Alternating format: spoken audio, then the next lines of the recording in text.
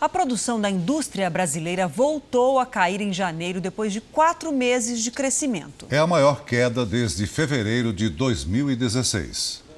Depois de 57 anos no mercado, esta fábrica de máquinas passou meses difíceis com a crise. Mas no último ano, reorganizou a produção para reagir ao mercado. O ano passado foi um dos piores anos da empresa. Assumimos o desafio de produzir mais com menos.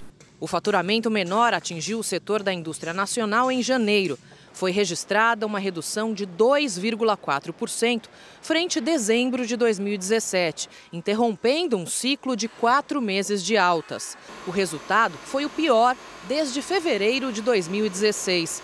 Mas, para este economista, o índice negativo representa apenas que o crescimento foi menor no mês. É uma queda em relação ao mês anterior. É um leve ajuste que nós tivemos, do excesso de produção que foi causado. A queda na produção de veículos foi o que mais pesou no índice, segundo o IBGE.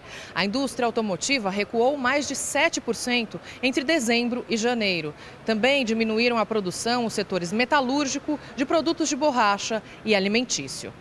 Já na comparação com o mesmo período do ano passado, a indústria brasileira registrou um crescimento de 5,7%. E a única taxa positiva em janeiro deste ano foi a do setor produtor de bens de consumo semi e não duráveis, que avançou 0,5%.